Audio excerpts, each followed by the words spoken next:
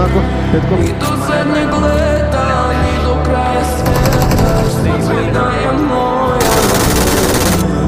Ova duša nema dom, ova duša nema dom, ne zore, sve će gore, ono? moje more. Dobar,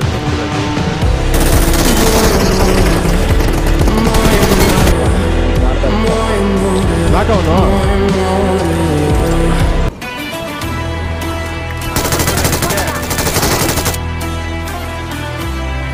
Thank you.